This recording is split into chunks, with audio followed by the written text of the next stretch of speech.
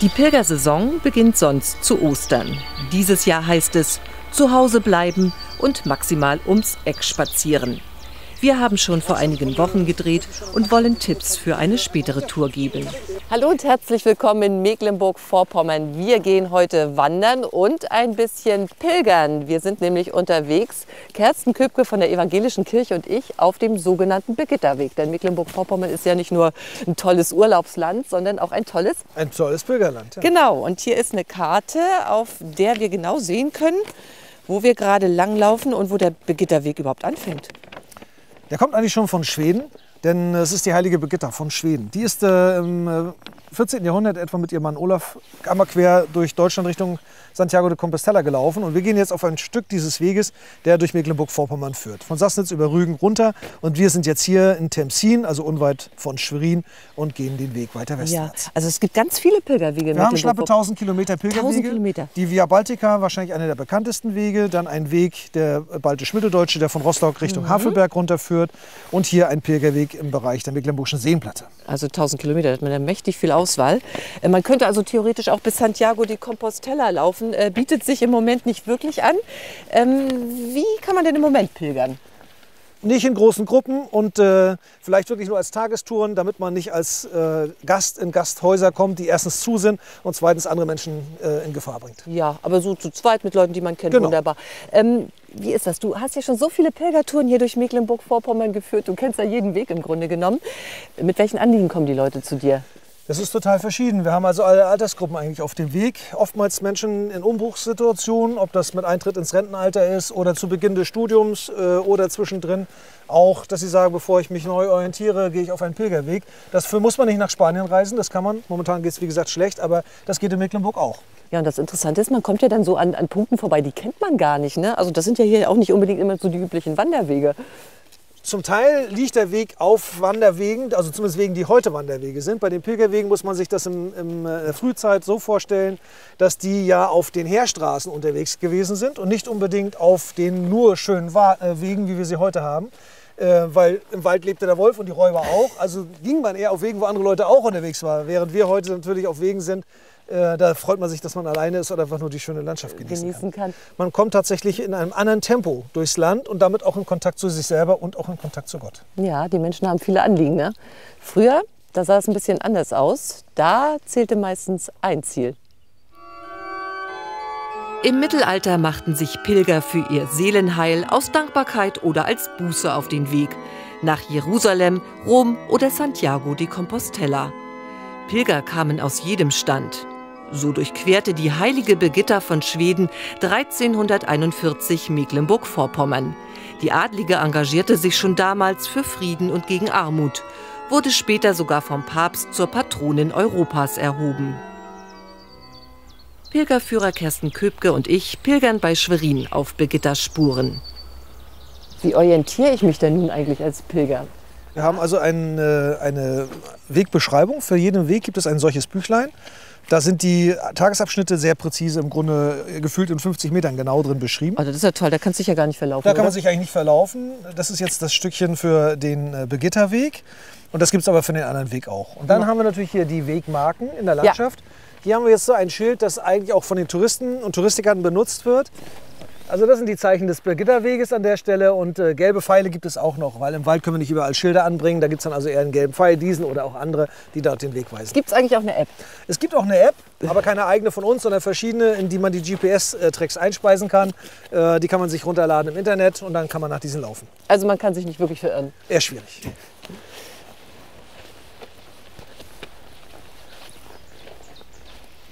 Wie ist das denn unterwegs mit der geistlichen Begleitung? Sonst wärst du nur wandern. Wenn ich die Gruppe führe, gibt es die Tagzeitgebete, die mhm. den Tag einrahmen. Das geht morgens mit dem Frühgebet los, gibt Mittagsgebet, gibt abends ein Ball Ankunft und, und dann auch so am Wegesrand. Das passiert am Wegesrand. Ich habe da immer so ein Brevier für in der Tasche. Ja. Das äh, ist ein Büchlein mit Liedern und mit Texten, aus denen wir dann in der Regel einen Tag wenigstens uns einen Text anhören und begleiten, darüber auch ins Gespräch kommen. Und dann gibt es natürlich die Gespräche und die Anliegen, die die Menschen selber auch mit haben unterwegs. Ja, das ist das Wichtigste, ne? Das ist das Wichtigste. Wie ist das eigentlich? Dürfen auch Nicht-Christen mit? Das dürfen alle mit. Hm. Guck mal, Temzin schon in Sicht. Das ehemalige Antoniterkloster ist die erste Pilgerherberge Deutschlands überhaupt.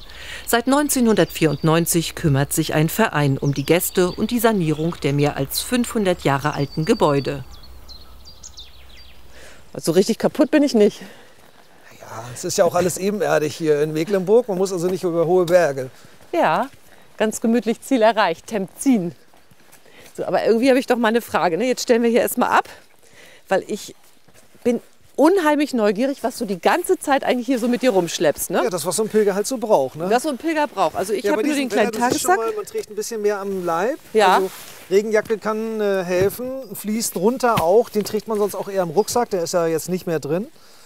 Ich habe ein Sitzkissen dabei, Ja. auch echt Luxus, total leicht, aber ist wirklich gut, weil in feuchtig, feuchter Zeit äh, ist das dann doch mal schön, dass man sich auch irgendwo hinsetzen kann. Leicht muss es sein. Das ist ne? alles leicht. Ist- Also leicht ist, leicht ist total wichtig. Äh, darunter geht's nicht. So, was braucht man so? Schlappen, ne? Wenn man irgendwann ankommt und aus den Stiefeln raus will, dann braucht man so eine kleine Fresstüte. Ja. So, für Mecklenburg auch ganz wichtig natürlich immer ein bisschen Brot. Ich habe immer noch ein bisschen Reis eingesteckt. Apfel natürlich sowieso, Salz ist auch und was man dann so unterwegs noch dazu kaufen kann und muss. Ne, du Aber kommst doch manchmal auch ewig nicht an irgendwelchen Geschäften Genau, vorbei. deswegen habe ich immer die Notration dabei. Also du könntest dir immer sozusagen eine Schale Reis Ja. nehmen. So, dann habe ich ein paar Plünnen mit dabei, Ja. die zeige ich nicht vor, die sind aber noch Die Unterhosen. In Spanien wäre das das No-Go mit so einer Plastiktüte, weil das raschelt. Wo man Ah, okay. Unterkünfte mit 50 Leuten hat, ist das doof. Ne? In Mecklenburg bei feuchtem Wetter ist das total schick. Ich gehöre zu den Luxuspilgern, die ein Kopfkissen mit dabei haben, Mhm. weil richtig gut liegen nachts ist wirklich schön. Denn manchmal ist es auch echt die Kirchenbank und da kann so ein Kopfkissen wirklich helfen. Und hier unten versteckt sich jetzt äh, die Isomatte und der Schlafsack. Hier die Wasserflasche, eine Ja. faltbare, eine zweite für die Ach, eine faltbare, guck eine mal. faltbare. Guck mal, so ich sehen die nur aus. so eine, so eine ganz so sehen die normale. aus. Das macht ganz, ganz wenig Platz und so sieht Ja. die voll aus. Okay. Und es gibt ja Abschnitte, da ist einfach nicht genug Wasser. Das ist gut, wenn man sich ein bisschen bevorraten. Ja, ist richtig. Also das ist ja das Allerwichtigste. Ne? Das habe ich mit der Tagesrucksack. Ne? Eine Brotbüchse und eine Wasserflasche. Tabletten, Mückenschutz. Und es, gibt, Desinfektionsmittel. und es gibt ein Handwaschmittel, äh, das man also auch, äh, womit man auch die Klamotten waschen kann zwischendurch. Denn ich habe im Grunde nur einmal äh, die Sachen mit, die ich am Körper habe und einmal Wechselsachen. Okay. Und wenn ich länger unterwegs bin, muss ich waschen. Also das ist zum Beispiel mein Besteck, das ich Oh. immer mit dabei habe. Das ist Löffel, Gabel, Messer in einem. So. Bloß ein paar Gramm. Ganz Das leicht. ganz, ganz, ganz wenig. Ich habe noch mal eine extra eine Schutzhülle Was ist drumherum. Maximalgewicht? Was äh, sollte man. Also es gibt so eine Faustregel, die sagt äh, 10% des Körpergewichts. Okay. Das ist bei Frauen dann schon mal wirklich sehr ambitioniert, das auch wirklich alles unterzukriegen. Bei mir ist dann ein bisschen mehr Platz, was ich habe, aber tragen muss man alles. Ne? So oder so. Und ein Taschenmesser unbedingt. Das muss sowohl fürs äh, Schneiden sein, als natürlich auch mal vielleicht eine Flasche Wein öffnen. also man muss wirklich ganz sein. genau überlegen, was man mitnimmt und auch gerne mal was weglassen. Ne? Also so Lippenstift ist nicht. Also eigentlich beginnt das Pilgern nicht auf dem Weg, sondern in dem Moment, wenn man den Rucksack packt. Im Weil Kopf. da, genau, das ist der entscheidende Moment, zu überlegen, was brauche ich wirklich und sich zu beschränken, das Nötigste im Leben auch dann nochmal auseinanderzukriegen. Das meint natürlich auch das, was man sonst noch so an Gepäck trägt, an Geschichten, die man ja auch mit dabei hat. Na, so wie wir das machen, ist das ja ganz simpel. Ne? Also wir machen hier so eine Kurztour, Schnupperpilgern. Aber wenn man länger unterwegs ist, dann braucht man doch mal so ein paar Helfer am Wegesrand. Zum Beispiel auf dem Pilgerweg Mecklenburgische Seenplatte. Da hilft Roland Scheper, ein Pastor im Ruhestand. Ihn haben wir bereits vor einigen Wochen vor den Beschränkungen getroffen. Früher habe ich gedacht, als meine Frau so von Pilgern schwärmte, ach, das ist nichts für mich. Diese Geschichte um den Jakobus und die ist so kurios, also da will ich nichts mit zu tun haben. Doch dann erfuhr er von jungen Leuten, dass Pilgern für sie etwas ganz Persönliches ist. Sie dadurch sogar Orientierung finden, wenn sie sagen, Ich habe im Moment gerade eine schwierige Lebensphase und ich möchte wieder zu mir selbst und wenn es gut geht, sogar zu Gott finden. Und seitdem ist es mein Ding. Roland Scheper pilgert nicht nur selbst, sondern bietet seit zwei Jahren sogar Begleitung für andere an. Frühstück in der Pilgerherberge von Zachow, gleich neben der Kirche in der wiederaufgebauten Schmiede des Ortes. Der Pilgerweg von Friedland nach Miro ist noch jung. Oder vielleicht auch nicht. Denn es fanden sich mehrfach historische Pilgerzeichen wie das auf der Zachower Kirchenglocke. Wenn es hier irgendwie Anklänge gibt, lasst uns doch mal weiter suchen auf Glocken und gucken, ob wir hier einen Weg irgendwie aufbauen können. Denn landschaftlich ist es hier ja wunderschön. Der Tag beginnt mit dem Pilgersegen in der Kirche von Zachow. Heute werden sie auf ihrer kleinen Tour nur zu dritt sein. Roland, ich lege meine Hand in deine Hand, gesegnet sei dein Weg. Amen. Und jetzt können wir losgehen. Aufbruch Richtung Süden, immer dem Pilgerzeichen mit der Muschel über der Welle nach. Auf Höhe Kricoer See biegen sie ein wenig vom direkten Weg ab, um den Blick über die Endmoränenlandschaft zu genießen. Einfach sich beeindrucken lassen von dem, was unsere Augen sehen, unsere Ohren hören. Das geht mir tief in die Seele. Manchmal reden sie, oft aber schweigen sie auch beim Pilgern.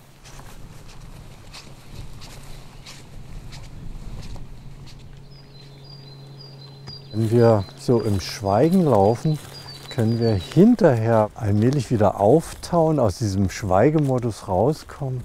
Und was dann für Erfahrungen kommen, die wir einander erzählen, das ist schön. Hm? Das Schöne ist, draußen in der Natur zu sein, zu laufen und vor allen Dingen äh, zu wissen, äh, dass man mit Gleichgesinnten unterwegs ist. Nach etwa zehn Kilometern kommen sie zum Kloster Wanska. Vor der Reformation ein Nonnenkloster der Zisterzienser. Das erstaunt euch bestimmt auch. So eine riesige Kirche in einem kleinen Dorf. Hier lassen sie den Pilgertag ausklingen. Luft und Winden gibt Wege Lauf. Auf unserem Birgitterweg in Tempzin gibt es für die Pilger ein besonderes Angebot. Also die Kapelle ist immer offen, du kannst hier jederzeit rein, auch wenn die Kirche mal zu sein sollte. Ist das ein Andachtsort, Schön. der von den Pilgern genutzt werden kann, mit einer Bibel, die hier liegt zum Lesen und einem Altar. Und das hat die Möglichkeit, dass hier jeder sich eine Kerze ansteckt und auch was dazulegen kann. Manch einer nimmt dann auch eine Kleinigkeit mit. Das Man kann den dann- Altar selbst gestalten. Genau, und das vermittelt den Eindruck natürlich nochmal stärker, man ist nicht alleine auf dem Weg, auch wenn man sich nicht immer begegnet.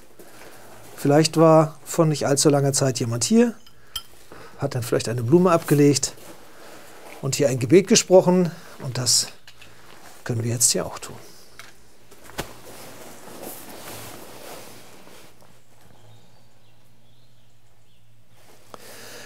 Und dann gibt es hier die Bibel. Ja, Das ist eine Zum ganz Lesen. tolle Idee, genau, hier in Temsir eine ganz große Besonderheit. Die schreiben sozusagen ihre eigene Bibel ab.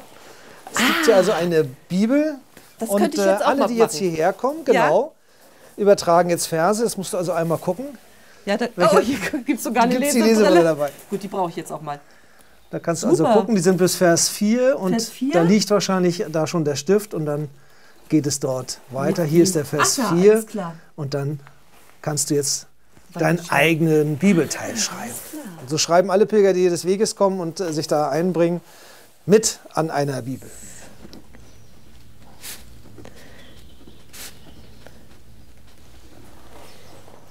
Ist auch eine Form des Innehaltens. Schön. So, ich gehe jetzt zur Kirche, habe eine Verabredung. Bitte schön, kannst Genau. weitermachen. Ich schreib weiter. Wir Genau, hier brauchst du vielleicht. Ah, schau mal. So, und Sie schicken mir jetzt auf eine botanische Reise, denn der Bibelgarten in Bad, der wacht so allmählich aus dem Winterschlaf auf. Am schönsten ist er allerdings im Sommer, dann sollten Sie ihn besuchen, so wie wir das letztes Jahr gemacht haben. Und Kersten treffe ich nachher wieder. Weinraute. Das Heilkraut aus der Bibel ist eine von 150 Pflanzen im Garten von Annette Lukisch in Barth. Es sind insofern besondere Pflanzen, dass, dass wir hier eine Sammlung haben von Pflanzen, die ja, irgendetwas mit Christentum zu tun haben. Und wo wir hier gerade stehen, das sind die Klosterpflanzen, also Pflanzen, die die Klöster kultiviert haben, die sie zum Teil auch mitgebracht haben. Die Klöster sind ja gewandert vom Mittelmeer bis hier in unseren Norden und haben ihre Gartenpflanzen auch mitgebracht. Alle Pflanzen hat Annette Lukisch selbst eingepflanzt. Freunde haben ihr Saatgut sogar aus Israel mitgebracht. Die Linse, erwähnt schon im Alten Testament. Esau tauschte aus Hunger das Erstgeburtsrecht bei seinem Bruder Jakob gegen ein Linsengericht ein. Auch von Disteln ist oft die Rede als Wildpflanze im gelobten Land. Die Pflanzen in der Bibel sind eigentlich, ja, widerspiegeln den Alltag in Israel vor 2000 Jahren, vor 3000 Jahren, also das, was angebaut worden ist. Und äh, sie verdeutlichen eigentlich äh, die Aussagen der Bibel. Die Feige, der meist erwähnte Baum in der Bibel. Eigentlich wächst er am Mittelmeer, braucht viel Sonne und Wärme. Wir haben in den letzten zwei Jahren milde Winter gehabt.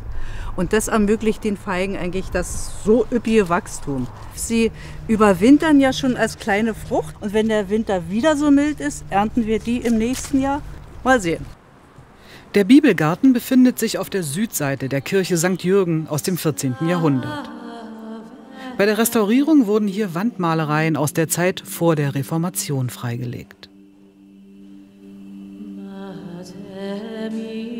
Neben der Kapelle die Ausstellung des Niederdeutschen Bibelzentrums mit der Barther Bibel, ein Meisterwerk der Druckkunst aus dem 16. Jahrhundert. Annette Lukisch ist schon seit der Kindheit bibelfest. Später hat sie Gartenbau studiert. Vor 20 Jahren legte sie den Garten im Bibelzentrum Barth an. Sie begann Bücher über Pflanzenwelt und Christentum zu schreiben. Die äh, Mönchstracht der Kapuzinermönche hatte eine besonders lange Kapuze. Beziehungsweise der Orden ist nach diesen langen Kapuzen benannt worden und diese Blüte hat so einen Zipfel, wie eben diese Zipfel der Kapuziner Mönchstracht auch war. Und es ist essbar, ich reiche mal rum, ruhig äh, reinbeißen. Die Blüte ist am zartesten.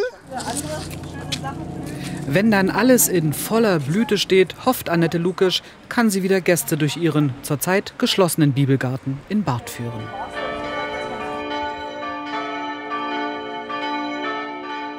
In Temzin rufen die Glocken zum Mittagsgebet.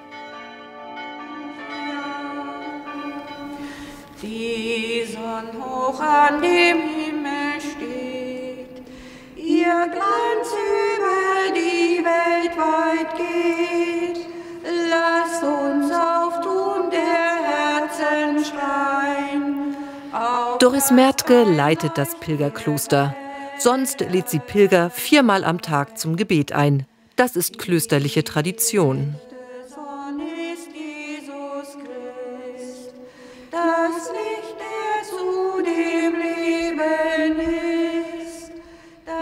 Vor 500 Jahren beteten hier die Antonitermönche.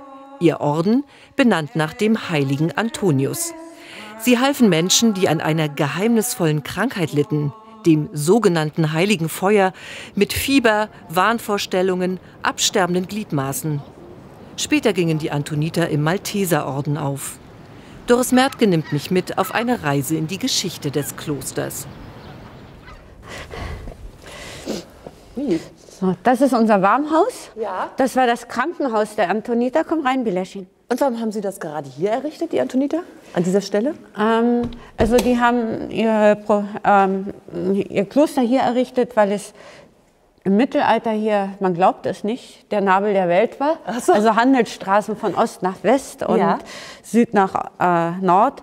Und Pilgerwege sind hier durchgelaufen. Und ich glaube, dass die gespürt haben, dass das wahrscheinlich vorher schon auch ein Kraftort war. Und wie muss man sich das denn nun vorstellen? Im Mittelalter war das ja ein Anlaufpunkt für Kranke. Genau. Wie wurden hier die Menschen versorgt von den Antonitern? Also erstmal mit Wärme. Ne? Also es war hier ein großer Kamin. Das, was jetzt Abstellkammer ist, war auch ein großer Kamin. Der hat einen sehr, sehr großen Schornstein. Den können wir nachher noch mal genauer betrachten. Und ähm, die hatten in den Außenwänden Kamine, die von außen zu bestücken waren. Damit haben sie es hier kuschelig warm gemacht.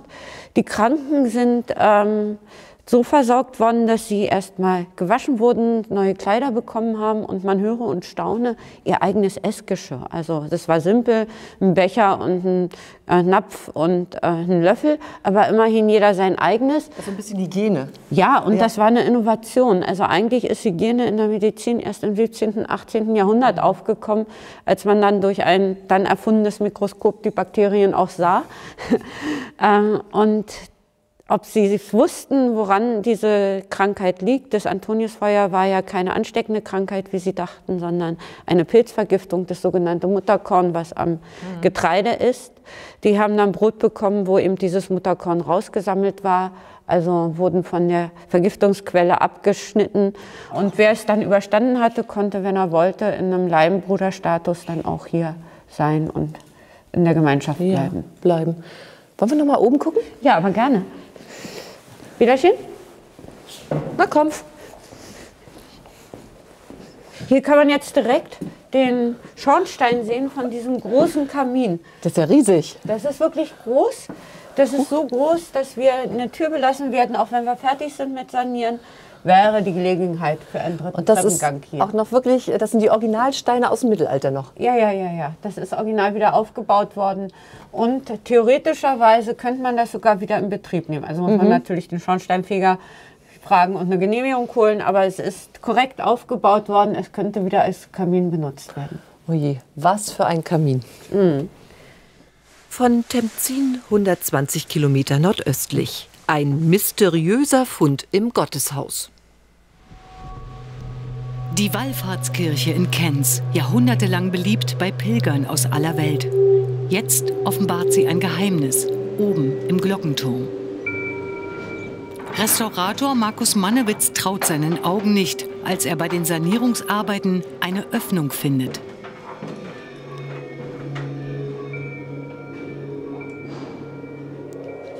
In keinem Kirchenbuch beschrieben sind diese unberührten mittelalterlichen Malereien, jetzt durch Zufall entdeckt. Ja, einfach mal aus Neugier, was ist denn hinter dem Teppich? Also, das war ja klar, dass es der Turmraum ist, aber warum hängt er hier und was ist denn dahinter? Es ist die Entdeckung seines Lebens, ein Bogen mit drei Medaillons vom wilden Mann. Sofort informiert der Restaurator den Pastor. Seit Wochen versuchen sie nun eine Erklärung zu finden, warum diese Figur als Symbol gleich dreimal hier an die Wand gemalt wurde. Und er ist auf dem Weg, er ist, er, er ist unterwegs. Ne? Wilde Männer gab es tatsächlich. Noch im Frühmittelalter in den Wäldern. Sie sollen übermenschliche Kräfte gehabt haben, ausgegrenzt von der Gesellschaft. Unter Christen verkörpert der wilde Mann das Dunkle, Fremde, Ungezähmte. In Malerei und Literatur wird das Wesen beschrieben, aber an eine Kirchenwand gemalt, das ist in Norddeutschland einzigartig. Es kann durchaus sein, dass der wilde Mann eben auch hier an dieser Schwelle der Kirche Christus sozusagen anerkennt, ne? sich also im Prinzip so auch ein bisschen diesem christlichen Glauben unterwirft. Wenn man auch so mal diese ähm, Gesichtspartie sich mal anschaut, nicht? die ist doch auch ganz schön gemalt eigentlich. Der wilde Mann in drei Gemütszuständen. Zerzaust mit wirrem Blick wendet er sich der Kirche ab. Hier hat er einen gestutzten Bart. Dann wird sein Blick ganz klar, wie bekehrt. Wilde Männer tauchten bisher nur als Wappenträger auf, auch in der Kenzer Kirche auf Glas am Fenster. Von der seltenen Wandmalerei wusste niemand. Über den maroden Zugang in den Turm traute sich einfach keiner nach oben. Ich habe immer gedacht, hier oben ist ja das Uhrwerk, dass sich dann hier die Uhr irgendwie befindet oder die Gewichte der Uhr. Und diese Malerei hat man eben vorher also von unten nicht sehen können und von oben auch nicht. Jetzt wird die Malerei restauriert. Ob der wilde Mann wirklich den Weg zu Gott fand, ist nicht überliefert. Sein Bild in der Kenzer Kirche soll wieder öffentlich sichtbar gemacht werden, wie damals im Mittelalter. In Temzin herrscht sonst ab Ostern reges Treiben. Im Moment Stille. Keine Einkehrer, keine Ora et Labora Wochen und keine geführten Pilgerwanderungen. Die Zimmer in der Pilgerherberge leer. Sonst können hier im Sommer bis zu 30 Pilger unterkommen. Im Warmhaus oder komfortabler im Amtshaus. Hier, diese Gästezimmer sind natürlich ganz anders. Oh ja, das hier- ist ja schon Pensionscharakter. Ja, ja. Also hier merkt man, das war mal ein Gutspächterhaus. Ähm, hohe Decken, weite Räume. Und äh, hier kann man also auch, wenn man jetzt zum Beispiel Einkehrer ist oder so, gut auch mal zwei Wochen verbringen, ohne dass man das Gefühl hat, es wird zu eng. Ja. Doris Mertke wartet auf die Zeit, in der wieder Leben ins Kloster zurückkehrt. Sie endlich zu den Pilgerwanderungen mit ihren Gruppen aufbrechen kann. Aber kommen Sie, da ist ein Tee hingewachsen, lassen Sie Ja, uns den genießen. also Tee gibt es hier immer, ne? Muss man sich bloß selber kochen. Ja, wir sind ein Selbstversorgerhaus, das Ja. andere schaffen wir nicht. Was denken Sie persönlich, warum sollte man mal pilgern? Ähm, um das Zuhause mal aus dem Augen und aus dem Sinn zu kriegen. und ähm, so ein bisschen aus der Zeit zu fallen. Und dann hat man die Möglichkeit, also das, das passiert automatisch, unser Körper ist so gebaut. Wenn man dann losläuft und das einfach macht, ähm, dann öffnet man sich innerlich und dann kriegt man wieder Zugang zur eigenen Spiritualität und findet in der Regel auch Wege, wie man sie leben kann. Das kann christlich sein, das geht aber auch anders, aber ähm, äh, ich als Christen finde immer, dass die christlichen Angebote durchaus hilfreich sein können. Auf jeden Fall, Frau Mertke, leisten Sie eine ganz tolle Arbeit. Vielen Dank, dass Sie hier am Begitterweg in Temzin ja alle willkommen heißen. Ja, und wir reisen jetzt in die mecklenburgische Schweiz auf den neuen Kapellenweg. Dieses Projekt hat die Anwohner dort wirklich ganz fest zusammengeschweißt. Gib uns Ohren, die hören und Augen, die sehen. Während der wöchentlichen Andacht in Tresso steht nicht zwischen gesungener Botschaft und Empfänger. Die kleine Feldsteinkapelle hat kein Dach, freie Sicht und Standleitung Richtung Himmel. In Lupendorf bei Hinrichshusen, nur wenige Kilometer entfernt, ein weiteres Bauwerk. Sieben sind es mittlerweile. Pfarrer Eckart Hübner hat sie gemeinsam mit Menschen aus der Region gestaltet. Neue Kapellen an historischen Orten, Brücken zwischen Vergangenheit und Gegenwart. Das Dorf ist umgezogen, ein Kilometer weiter und von dem früheren Bauerndorf ist nichts mehr übrig. Kein Friedhof, keine, kein Ort, nichts mehr. Und wir haben das herausgefunden, wo das sich genau befindet und hier dann die Kapelle errichtet. Die vom Nebel der Geschichte geschluckten heiligen Stätten findet Hübner am Schreibtisch. Nächte hat er damit verbracht, historische per Hand gezeichnete Karten und Satellitenbilder zu synchronisieren. Wenn Sie nur in die alte Karte reinschauen, verstehen Sie manchmal gar nichts, weil die ist anders gestaltet, als heutige Karten sind. Und ähm, am deutlichsten sind noch die Wege zu erkennen. Und die, die Perspektive, die muss man dann vergrößern und das geht dann mit Google sehr gut, dass man da in die verschiedenen äh, Maßstäbe hineingeht. In Hinrichshagen steht die größte der sieben Kapellen. 400 Arbeitsstunden haben die 38 Dorfbewohner geleistet. Der Bau hat sie noch näher zusammengebracht. Die 70 cm hohe Einfriedung mit Bank, Bronzetafel und Linde ist ihre neue Mitte, auch in schweren Stunden. Es waren alle vom Dorf da, ja. alle zu der Trauerfeier. Und äh, es hat uns äh, trotz der schwierigen oder traurigen Angelegenheit, um die es ging, doch zusammengeschmiedet und es waren alle da vom Dorf. Naja, und für die Eltern, die ihr Kind verloren haben, für die war es auch besonders tröstend, dass alle daran teilgenommen haben. Die Bronzetafeln an den Kreuzen hat Künstlerin Katrin Wetzel gestaltet. Statt Kreuzigung sinnliche Motive. Die Darstellungen zeigen Frauen, die als solche deutlich zu erkennen sind. Die Seele nährt sich von Schönheit. Und darum, das ist ein Teil meiner ja. Idee. Ja, ja. Das ist sehr viel Haut zu sehen. Das hat, ist eine, eine Botschaft, eine ganz andere Botschaft. Ne? Ja, wir sind Menschen. Wir sind alles Menschen. Und das ist eigentlich auch so meine, meine Botschaft. Miteinander verbunden sind die Kapellen über einen 34 Kilometer langen Pilgerpfad. Mhm. Es erwartet Sie ein wunderschöner Weg durch die Mecklenburgische Schweiz. Nicht auf öffentlichen Straßen, sondern auf richtigen landwirtschaftlichen Wegen und Waldwegen.